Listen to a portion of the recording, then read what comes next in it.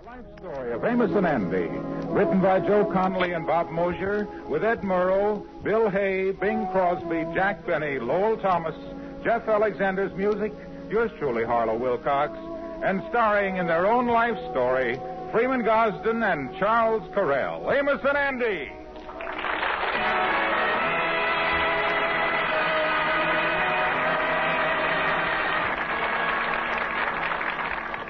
The 10,000 independent Rexall druggists salute Amos and Andy as they start their second quarter of a century on the air. Tonight, by bringing you their life story. Tomorrow, with the start of a special Amos and Andy sale. Yes, tomorrow dozens, literally dozens, of Rexall products will be sold at exactly half price. Later in the program, we will list many of these half price items. So, friends, make up your minds right now to stock up because every time you buy, you save at the Amos and Andy sale. It starts tomorrow and goes on for two weeks at Rexall drugstores everywhere.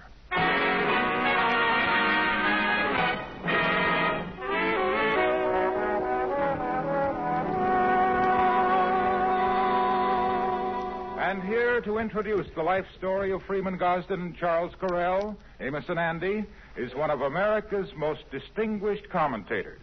Good evening, ladies and gentlemen. This is Ed Murrow.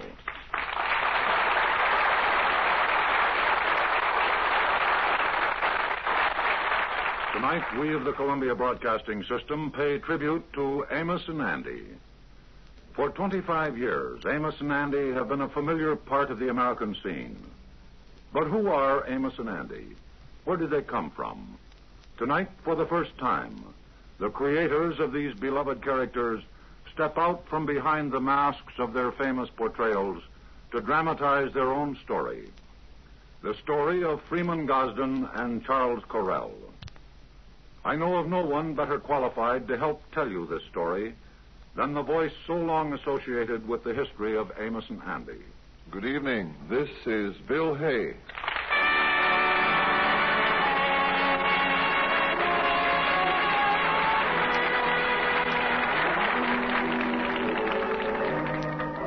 Where did Freeman Gosden and Charles Correll first meet?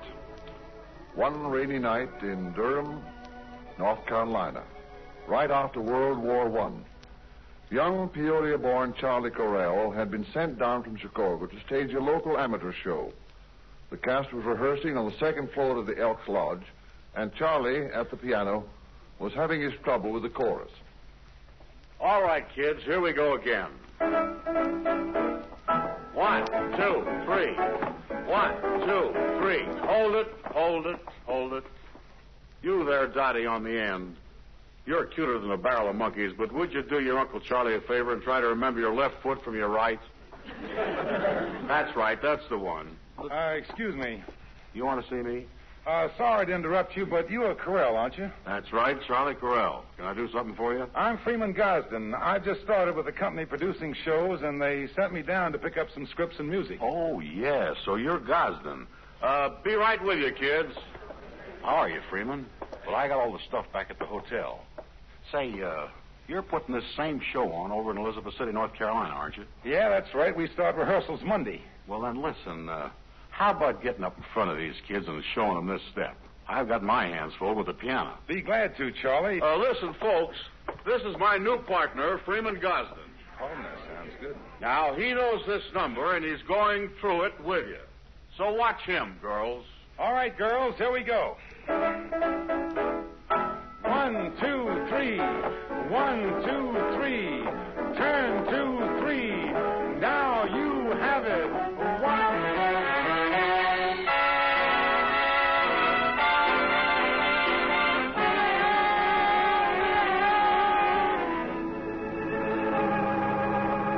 And thus the beginning of a partnership was formed. For the next few years, they traveled all over the South producing amateur shows, learning, working together. Those were lean years, the hard years. The boys did everything produced, directed, wrote, and even performed in some of the shows. Then, one night in New Orleans, they were talked into appearing on a strange new device radio. Say, this is something, isn't it, guys? The fellow says we sing into this big megaphone here. You think anybody will actually hear us? Well, one of the fellows here was telling me this morning they got a phone call from a woman who lives a mile away from the station. No fooling. oh, that fellow with the earphones is waving at us again. Stand by. You're on the air. Okay, Charlie, hit it. Gorgeous, gorgeous, everyone knows. They say you're gorgeous, gorgeous from your head to your toes. As a kid ten, you were a wow, wow, wow, wow. You were pretty then, but look at you, Charlie. What? Look, you're simply gorgeous.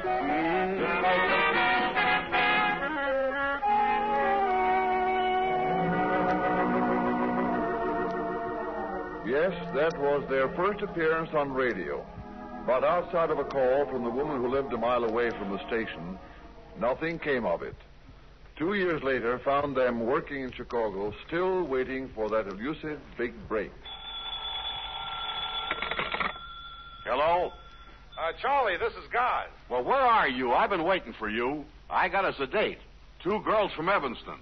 One of their fathers owns a restaurant. Charlie, I just left Bob O'Neill's office. Now, he runs radio station WEBH up at the Edgewater Beach Hotel. Now, he wants us to go on the radio as a singing team, and I told him we'd do it. Well, wait a minute. Wait a minute, kid. How much are we going to have to pay him? Not a cent, Charlie, and get this. At midnight, after the station closes down, the hotel gives us a blue plate supper free.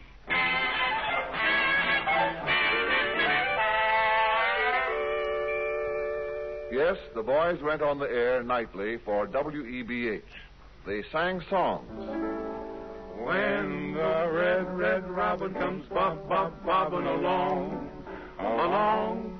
They told jokes. Say, guys, I'm going home tonight and give my father a bath. Give your father a bath? Of course. I've been sponging off the old man for years.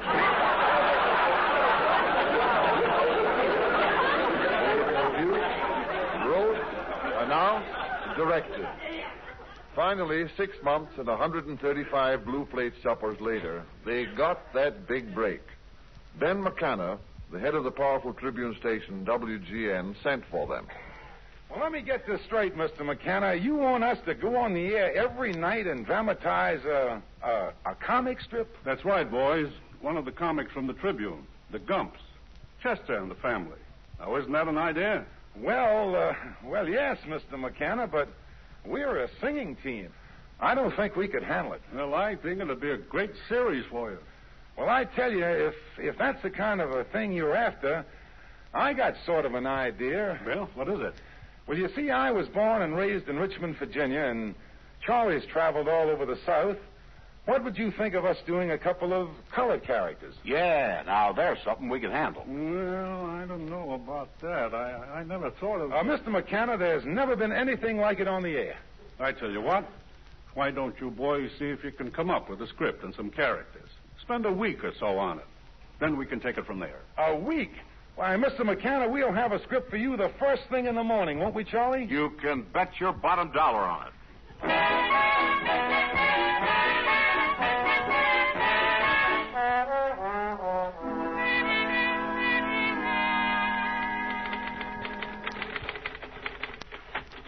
What time is it, kid? Well, it's daybreak, whatever time that is. And we had to tell him we'd have a script in the morning. Charlie, I've been thinking over these comic strips. Now, now take Mutt and Jeff. Now, that's popular. Yeah? One feller is a great big man, and the other one's a little bit of fella. And that's what we've got to get. Yeah, but the people aren't going to see us on the radio. Well, we've got to do it with our voices. Maybe if one of us had a high voice and the other one a low voice, that would give 'em a picture. Yeah. Say, guys, you're right as two rabbits. Yeah, you know, Charlie, I think we're getting somewhere. You, you can get your voice down pretty low, can't you? Well, yes, I can get down pretty low. Uh, keep going. Get down lower. Uh, like down here. Not bad. Now listen. Uh, see if you can put a see if you can put a little dialect in it. Yeah, well, I'm going to stay right down here and talk like this, this here. Uh, how did it sound, Brother Gosden? Sounds great. Now, you hold that voice, and I'll try to get a high one. Yeah, I'll do that. And you get on up there. Uh, how does it sound up here? No, go get up higher. Get, uh, get way up there. Sound up here? Yeah, put a little dialect in the thing. And put a rasp in there, like that uh, little fellow that worked in the drugstore in Atlanta. Uh, yeah, put a little rasp in there. Uh, how do that sound to you now, Brother Correll? That sure sounds good to me, boy. I think we done got something here. Boy, I sure hope so.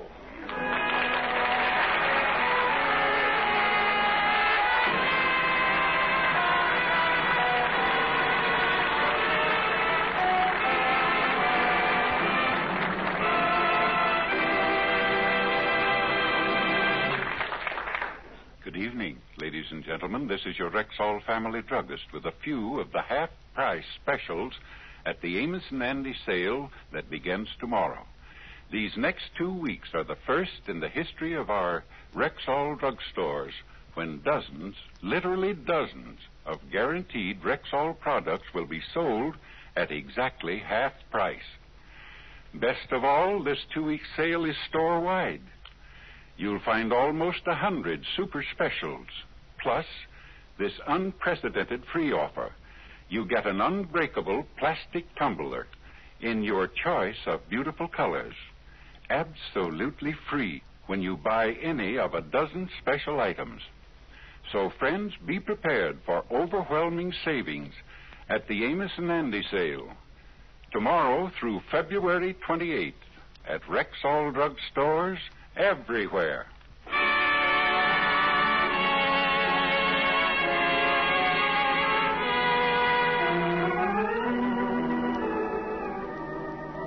One month later, Freeman Gosden and Charles Correll went on the air as Sam and Henry.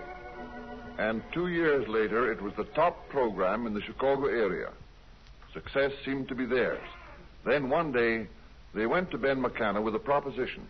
Well, that's the idea, Mr. McKenna. We heard that one of the big broadcasting companies is starting a coast to coast network. Yes, and we'd sure like to get on that network, Mr. McKenna. Boys, I understand your enthusiasm, but we here at the station want to keep Sam and Henry as our exclusive feature. But, Mr. McKenna, we think this is the opportunity of a lifetime for us. I know that, boys, I know it. But after all, we own the name Sam and Henry, and we don't want to make any rash move and take the chance of ruining the show. All right, Mr. McKenna. I thank you just the same. Come on, Charlie. Well, he turned us down cold, Gus. What are we going to do now? What do we do, Charlie? We quit. Yeah, well, I. Quit! Quit, Sam and Henry. Now, look, Charlie, we can get just so far and no farther staying here on one station. Yes, but, Gus, we couldn't even take Sam and Henry with us. The newspaper owns the name. We'd have to start over from scratch. All right, we'll start over from scratch. Guys, I don't know about this. Suppose we're a flop. Now, look, Charlie, I don't know what it is. Call it intuition or whatever you want to. But I just have a feeling we're doing the right thing. Well, if you feel that strong about it, guys, okay, let's take a crack at it. After all, we've come a long way from the days of the blue plate supper.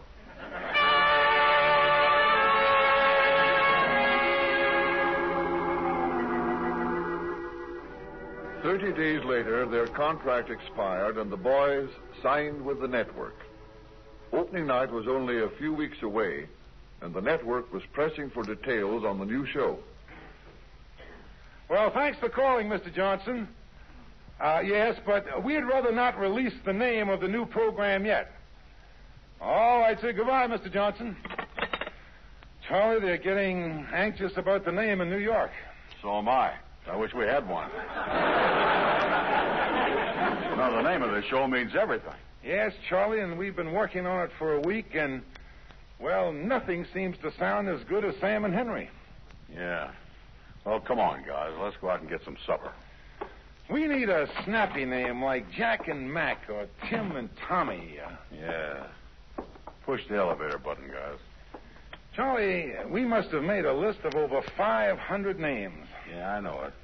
Oh, say, uh, how about Slappy and Happy? No, I don't think so, Charlie. Well, here's the elevator. I wonder if Willie's on duty. He's a character, isn't he? Well, well, Chuckling Charlie and Steamin' Freeman. How are you, boys? Oh, fine, Willie. Step right in. How are my two friends of the airways? Fine. Say, I hear you got a new program. Yeah, that's right. It starts next week, Willie. We're going coast to coast. Well, how do you like that? Ain't you the pair for the air? Third floor. Well, well, look who's here. My football playing friend. Step right in, famous Amos. How's everything going in the elevator, Willie? Having my ups and downs. Second floor. Going down. I'll move back, let the janitor get in with the step ladder. Well, make way for my old friend, Handy Andy. First floor, there ain't no more. Going up. Going up. Say, Charlie, what we need in these names is something that'll catch on, something that'll be easy to, to, uh... Charlie, what's the matter? Did you hear what Willie called those two fellows? Yeah, uh... Famous Amos and, uh... Handy Andy. But, Charlie, what I mean, uh... Amos and Andy. Yeah. Amos and Andy. Well, they are both four-letter names. They are both sort of euphonious, and Amos is a biblical character. Yeah, and not only that. If we ever play a benefit, they list the names alphabetically. We'd always be right smack at the top.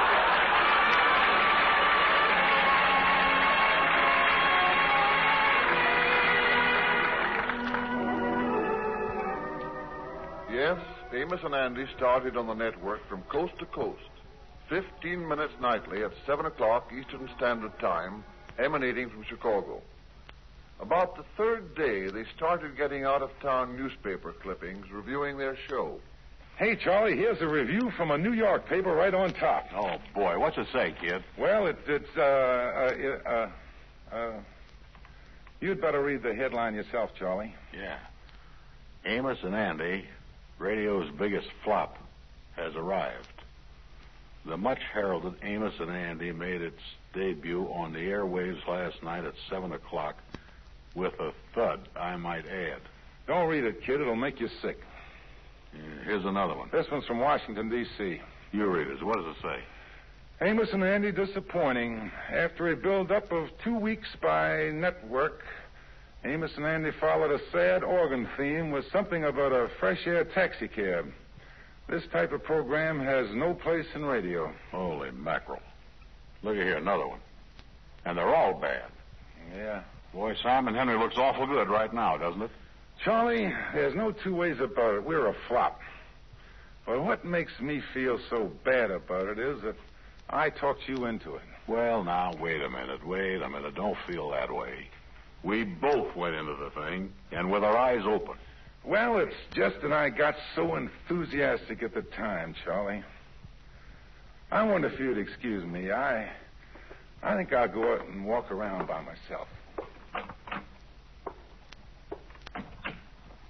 Well, I guess he wants to be alone. But even if the kid doesn't know it, I'm out there walking right with him.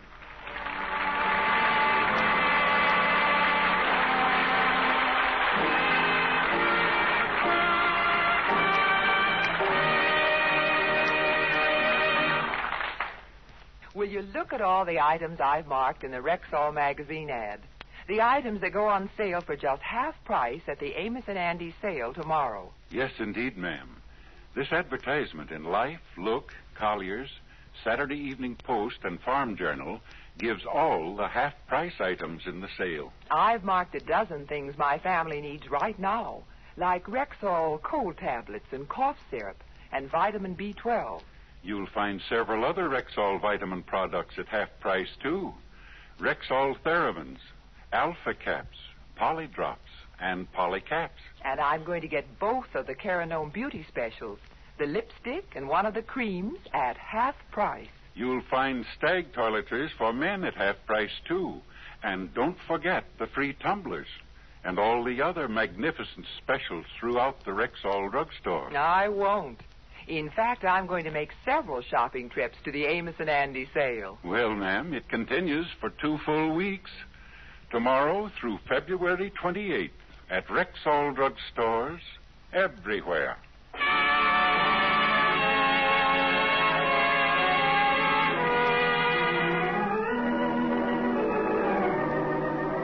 Amos and Andy continued on the network for the second week. There was no fan mail, and most of the critics had reviewed the show unfavorably. This, I believe, was the lowest point in the lives of Freeman Gosden and Charles Correll.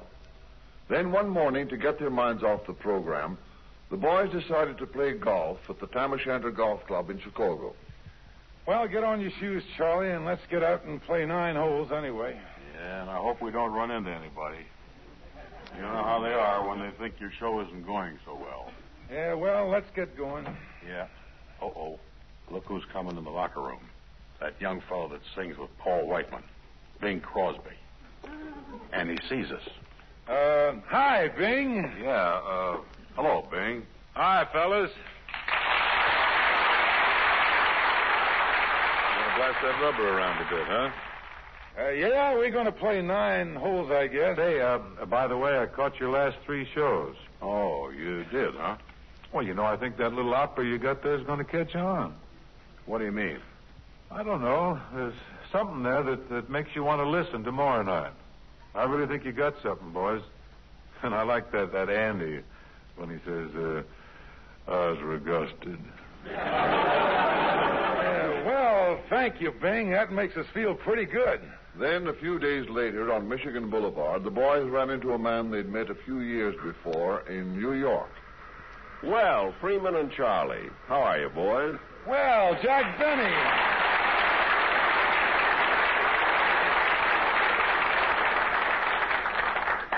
Nice to see you, Jack. I hear you open tomorrow night over at the Palace Theater.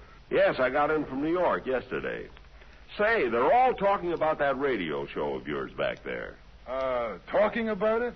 Yeah. You know, to tell you the truth, at first, I don't know, I I didn't like it. But after a few times, it it, it kind of grows on you. You know what I mean? Even the kids backstage are listening to it.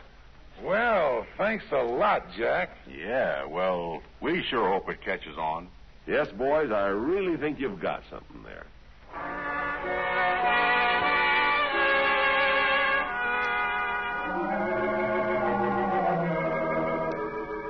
A lot of other people began to feel the way Jack and Bing did. The fan mail began to trickle in. The boys' spirits lifted. They worked harder. They experimented with their voices and created new characters. First, they added a great favorite with the listeners, Lightning. Ah, uh, yes, Miss Amos. I'll whiz right on over there. The social man about town, Henry Van Porter. Well, now, if you'll excuse me, gentlemen, I'm having a fitting with my tailor. He's put a new patch on the seat of my pants.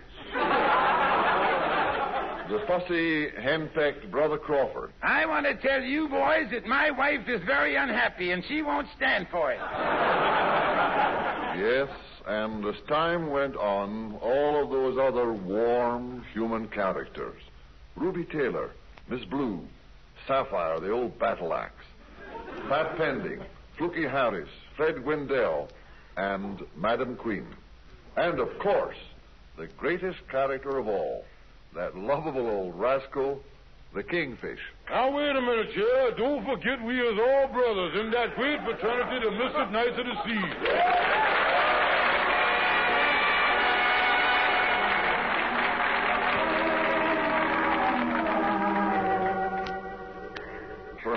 The greatest tribute of all paid to Freeman Gosden and Charles Correll was one night at a huge benefit in New York's Madison Square Garden.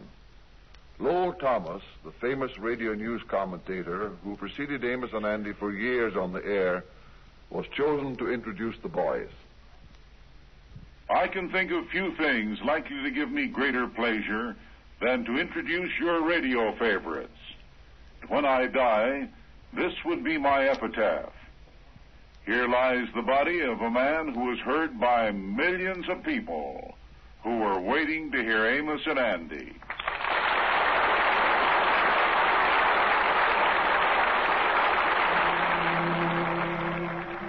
Well, that was it. That was their success. The rest of the story is familiar to all of us. As the years went on, Amos and Andy made new changes in their program. The most significant being when they went from 15 minutes to a half hour. Changes come and go, but I'm sure you feel, as I do, that Amos and Andy have never left that wonderful place in our hearts. Now, before I turn you back to Ed Murrow, I'd like to say once more, as I did for so many years, bidding you all good night and good night to you all.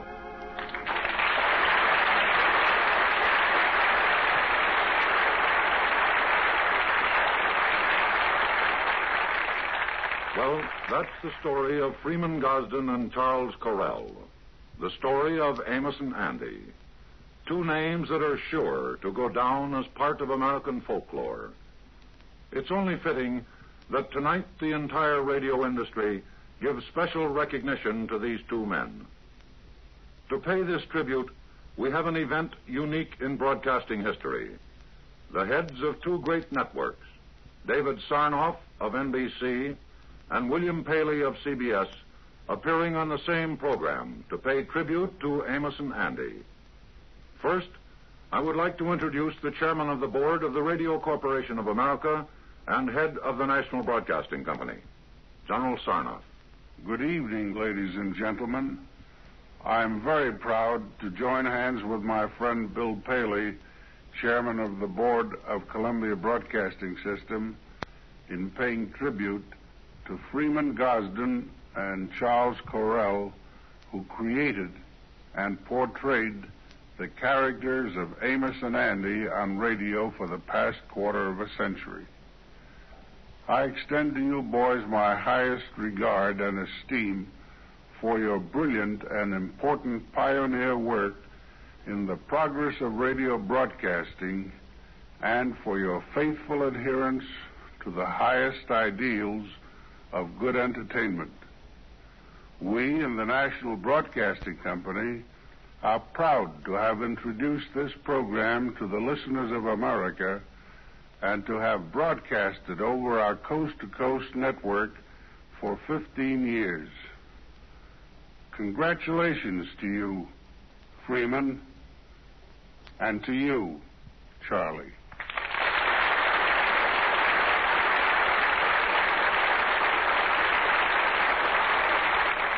And now, the chairman of the board of the Columbia Broadcasting System, William S. Paley. I'm very happy to join General Sarnoff, whose leadership and contributions have meant so much to broadcasting, in paying tribute to Freeman Gosden and Charlie Correll. By bringing pleasure to millions of listeners for more than a quarter of a century, they have firmly established themselves in the affections of their fellow citizens. They have also created a great radio institution, one which I believe will live forever in the folklore of America. Freeman and Charlie, it gives me great pleasure to salute you, not only as an old friend, but also on behalf of the Columbia Broadcasting System and the countless millions of your devoted listeners throughout the country. Our warmest wishes go out to you both.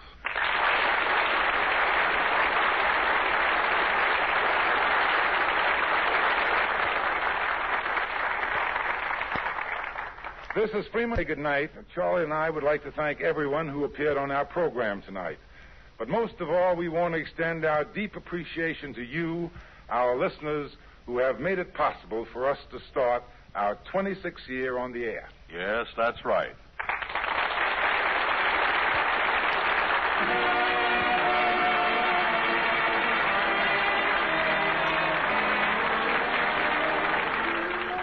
Remember, beginning tomorrow through February 28th, it's the special Amos and Andy sale. And be sure to be with us at the same time next Sunday when your Rexall druggist will again present The Amos and Andy Show, transcribed and directed by Cliff Powell. Stay tuned for the Bing Crosby program, which follows immediately over most of these same stations. This is the CBS Radio Network. WDAN in Danville, Illinois.